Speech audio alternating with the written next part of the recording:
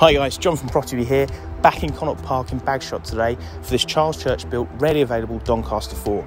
It's got four bedrooms, three of which are doubles. Downstairs you've got three reception rooms. It's in really good condition, really secluded private garden and a garage, but please check it out for yourself.